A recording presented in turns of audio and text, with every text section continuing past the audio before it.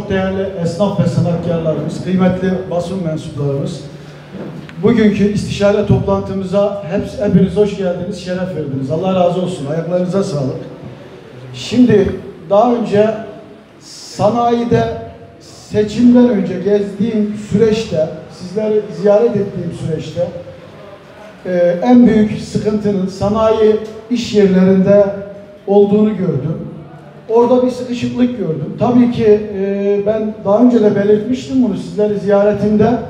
Her yıl en az yani iki defa demeyeyim ama bir defa inşallah tüm esnaf gruplarıyla esnaf odası olarak bir araya geleceğiz. Bunun da ilk sıraya sanayi almamdaki sebep yani bir projemiz var inşallah. Sizlerle beraber bunun üstesinden geleceğimizi umuyorum. Özellikle sizleri buraya toplamamızdaki sebep bu projeyi anlatmak, sizlerden değerli işte eee, bir destek almak, sizlerin de görüşlerini almak. Tabii ki burada ilk eee, maddemiz bunun üzerine olacak. Ondan sonra sanayi esnafımızın sanayideki olan sıkıntıları bunları ele alacağız. Sizlerin de illaki görüşlerini alacağız. Ama ben öncelikle şu projemizi bir sizlere kısaca anlatayım. Sizler de umarım bu projeyi beğenirsiniz. Bu sizlerin veya benim veya bizlerin projesi değil, bu Avşin'in bir projesidir. Bunu bir ilçenin gelişimi için öncelikle sanayisinin gelişmesi lazım. Şimdi sanayide benim gördüğüm kadarıyla kooperatif başkanı da burada. Bazı yerler yer olmadığından dolayı kooperatif adına kiraya veriliyor esnafların işleri görülmesi için. Biz bu tıkanıklığı gidermek için yeni bir site kurmamız lazım. Yani bunu sizlerle inşallah yapacağız. Site kurmamız, sanayimizi de rahatlatmamız lazım ki devletin yani bu konuda e, özellikle üretim konusunda çok büyük teşvikleri var. Bunları da sizlere kısaca anlatacağım. İnşallah işimizi geliştirmek için, iş yerimizi büyütmek için, bir avşine bir istihdam sağlamak için yani bunları yapmamız gerekiyor. İnşallah bu sanayi sitesinde de ilk imzayı burada atar, başarılı oluruz. Şimdi bir kooperatif altında sizlerle beraber bir kooperatif kuracağız. Kooperatifi kurduktan sonra devlete ait hazine, mera gibi araziler var. Ben bunların üzerinde 2-3 aydan beri çalışma yapıyorum. Özellikle de e, yani istihdam konusunda üretici firmalarda tabii ki bugün bir iş yeri olan içinde değil bu. Sadece biz bunu sanayi esnafıyla istişare ediyoruz ama normal bir vatandaş da gelip bir fabrika kurabilir yani. Bu kooperatife üye olabilir. Bu da olabilir. Öncelikle bizim amacımız bizim sanayiyi rahatlatıp yani av işini daha ileriye sanayi konusunda nasıl taşıyabiliriz?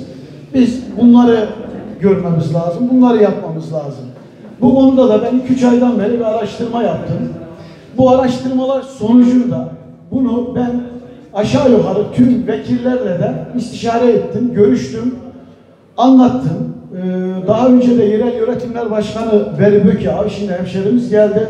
Sağ olsun bu konuyu sözde değil de yazılı olarak Ankara'ya taşımamızı istedi. Sayın Türkiye Büyük Millet Meclisi Komisyon Başkanımız Celalettin Güvence huzurunuzda teşekkür ediyorum. Ben bu konuyu anlatır anlatmaz benim bunu yine yazılı ya dökmemi, müracaatlarımı yapmamı ve takipçisi olacağımı söyledi. Sağ olsun bir hafta sonra da bunu Tarım Orman Bakanlığı'na direkt dosyayı götürdü.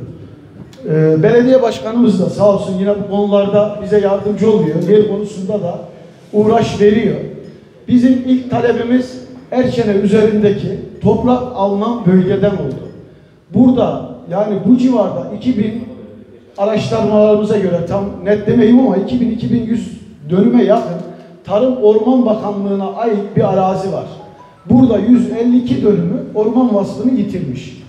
Biz bu orman vasfını yitirmiş yerler için bir müracaatta bulunduk. Ama burada bizim önümüze engeller çıkacak. Bunu biliyoruz. Yani bunun da farkındayız. İnşallah halletmeye çalışıyorlar ama şimdi sizlerden de görüş alacağım. Akıl akıldan üstündür. Ben gelmeden önce de dedim.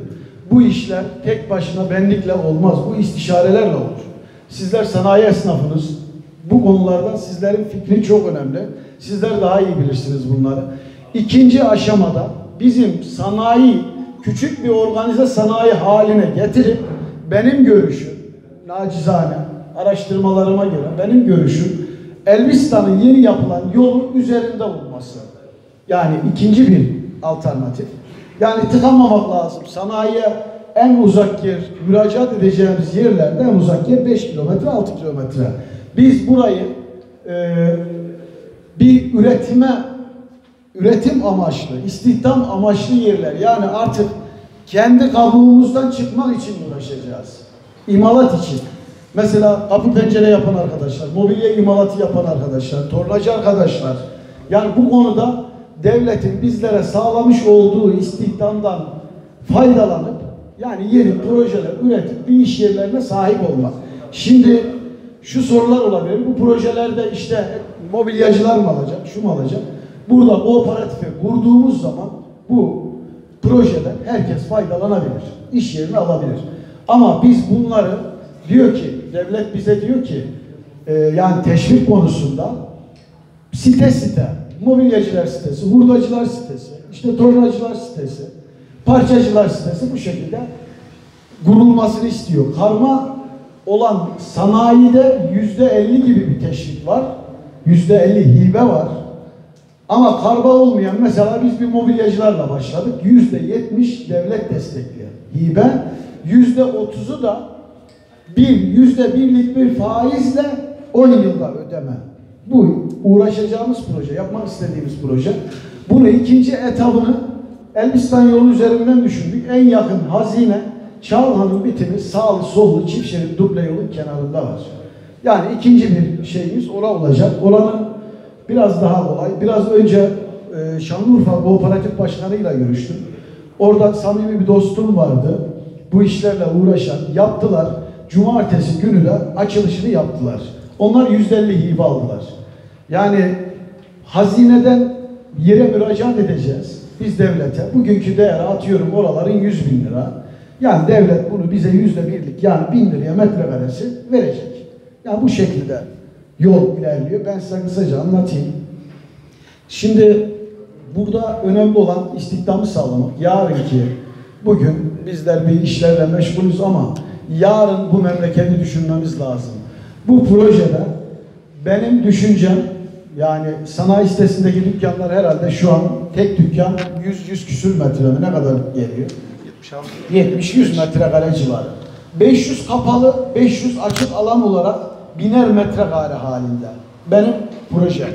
Burada şimdi Urfa'da yapılan o projelerde 365 metrekare kapalı, 365 metrekare açık alana sahip yaptıkları